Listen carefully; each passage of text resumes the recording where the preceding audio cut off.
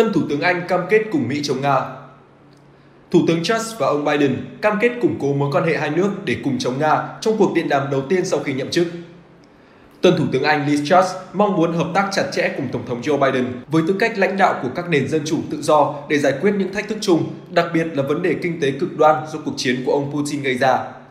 Tuyên bố ngày 6 tháng 9 của Văn phòng Thủ tướng Anh cho hay đề cập Tổng thống Nga Vladimir Putin.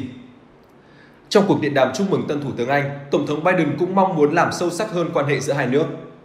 Tôi muốn thắt chặt quan hệ đặc biệt giữa hai nước chúng ta và hợp tác chặt chẽ trong các thách thức toàn cầu, trong đó có tiếp tục hỗ trợ Ukraine chống lại chiến dịch quân sự của Nga. Ông Biden đăng trên Twitter sau đó. Một quan hệ được gọi là đặc biệt giữa Anh và Mỹ được duy trì liên tục những năm gần đây, bất chấp những xích mích giữa cựu Tổng thống Donald Trump và cựu Thủ tướng Theresa May. Một quan chức Mỹ cho biết, Nhà Trắng rất mong đợi ông Biden và bà Truss có thể tiếp tục liên minh để chống lại chiến dịch quân sự của Nga ở Ukraine, cũng như chống lại ảnh hưởng của Trung Quốc ở khu vực Ấn Độ Dương, Thái Bình Dương. Trong tuyên bố sau điện đàm, Văn phòng Thủ tướng Anh cho hay hai lãnh đạo đã thảo luận hợp tác sâu rộng về NATO và thỏa thuận an ninh Mỹ, Anh, Australia được thiết lập năm ngoái để đối phó Trung Quốc. Hai lãnh đạo này có thể gặp nhau ngay tại kỳ họp Đại hội đồng Liên Hợp Quốc cuối tháng này. Bà Truss đã chiến thắng trong cuộc đua giành vị trí lãnh đạo đảng bảo thủ cầm quyền ở Anh ngày 5 tháng 9 và nhậm chức thủ tướng một ngày sau đó.